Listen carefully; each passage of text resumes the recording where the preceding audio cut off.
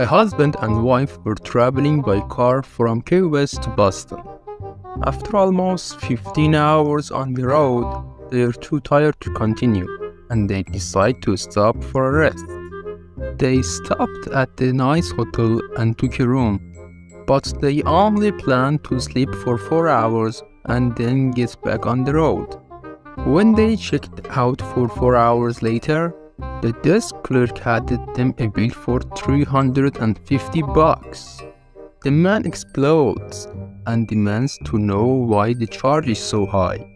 He tells the clerk although it's a nice hotel, the rooms certainly aren't worth $350. When the clerk tells him 350 is the standard rate, the man insists on speaking to the manager. The manager appears, listens to the man, and then explains that the hotel has an Olympic-sized pool and a huge conference center that was available for the husband and wife to use. But we didn't use them, the man complains. Well, they are here and you could have, explains the manager.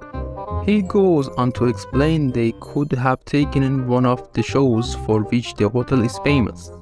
The best entertainers from New York Hollywood and Las Vegas perform here, the manager says. But we didn't go to any of those shows, complains the man again. Well, we have them and you could have, the manager replies.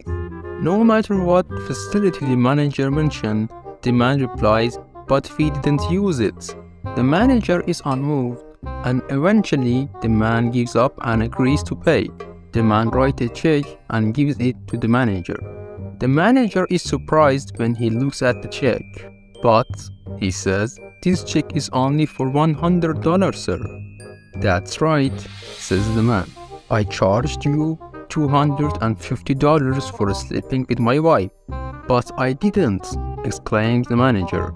Well, the man replies, She was here and you could have it.